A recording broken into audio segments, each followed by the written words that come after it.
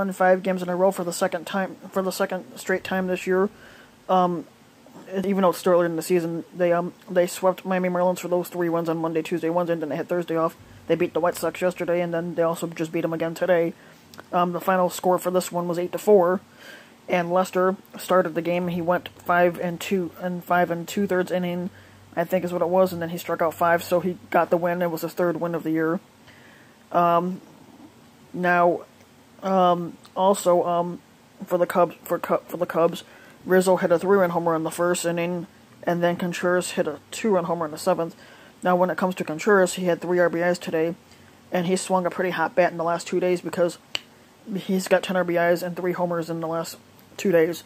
He hit homer twice yesterday, drove in seven runs, and then he homered again today and drove in two, and drove in two more off that home run, and he also had an RBI single, so he's got 10 RBIs in the last two games.